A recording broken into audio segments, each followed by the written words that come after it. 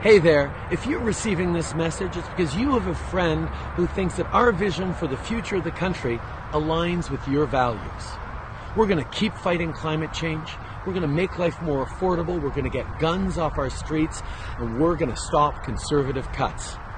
So come Monday, I hope you vote Liberal to turn your values into action. Choose forward.